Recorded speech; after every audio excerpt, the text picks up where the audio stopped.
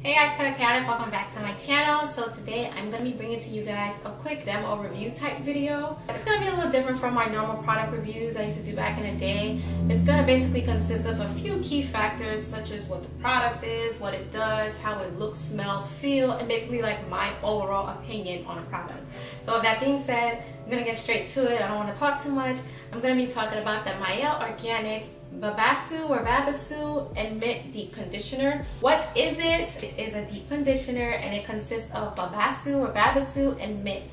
What it does. So basically, this is a deep conditioner that is made for dry and damaged hair and is basically supposed to replenish it.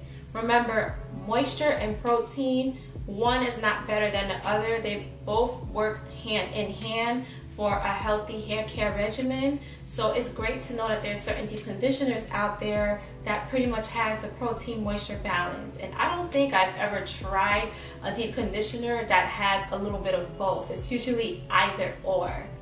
What does it feel like? So it's not like your normal deep conditioner where it's like a really thick consistency. It's somewhat thick, but it's more so on the runnier side.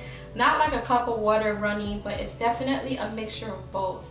If I was to turn the deep conditioner upside down, it will slip right out of the jar. Speaking of slip, well, just because the, the deep conditioner is not that thick, it is not to be slept on because it has a lot of slip and you can see in the video clip, I am easily able to run my fingers through my hair from root to tip as I'm finger detangling. I didn't use any combs the entire time that I was basically deep conditioning my hair. What does the product look like? To me, it is an off-whitish color and it's a bit on the runny side.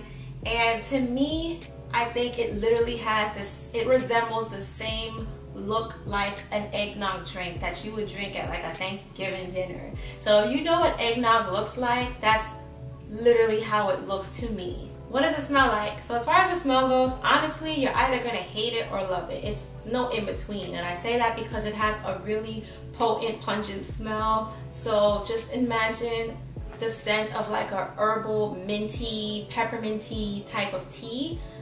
That's what you can kind of compare it to as far as the scent goes. I can't put my nose to it right now, but it smells like some type of mint. Just not sure what kind how do you use it? So I'm going to read it directly from the, the label. Basically, it's for after shampooing, you're section your hair into four sections and you're basically applying the deep conditioner from root to tip. And they tell you to cover with a plastic cap for 15 minutes. For an intense treatment, you're going to sit under your dryer for 30 minutes. And then you rinse it out with cool water and style as, as desired. I tweaked with the instructions just a bit, nothing major. The only thing I changed was I didn't split my hair into four sections. You can see in the clip I'm basically finger detangling from root to tip and making sure my hair is fully saturated with the conditioner. I did feel a little bit of tingling, which I like. And um, basically, I did cover my hair with a plastic cap. I sat under my hooded steamer for 15 minutes just for intense hydration. After I let my hair cool down for about five minutes or so and I stepped in the shower, I didn't rinse with cool water but lukewarm water. How did I like the product? So I'm going to talk about the pros, cons, and my overall thoughts on the product.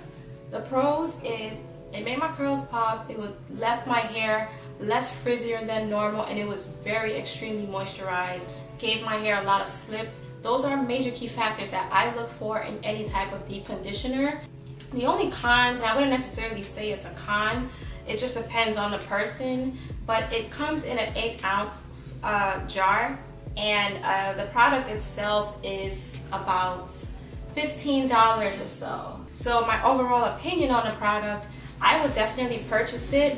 Um, although this was given to me, shout out to my girl Phoebes, but this was given to me, but once I run out, I would definitely purchase this. So overall, I definitely did like the product. Something that is very big to me is accessibility. This product can be found and bought everywhere online.